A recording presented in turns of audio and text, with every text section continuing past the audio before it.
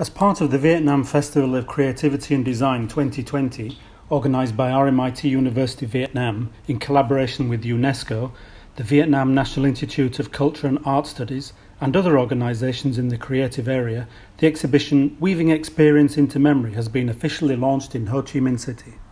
The exhibition introduced a digital print using design elements from a multicolour check pattern to represent the geological layers and elevations in Phu My Hung the print design was then applied to fashion products that recognized the strengths of material combinations. The Ao was the first product to be made.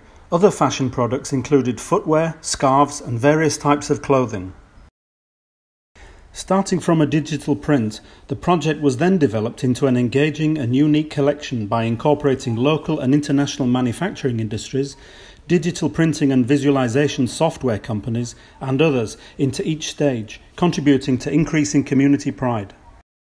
As RMIT lecturers, we want to support and create opportunities for our students, industrial and graphic designers, so that they can come up with new ideas, from those ideas, we will work together to take them to greater heights.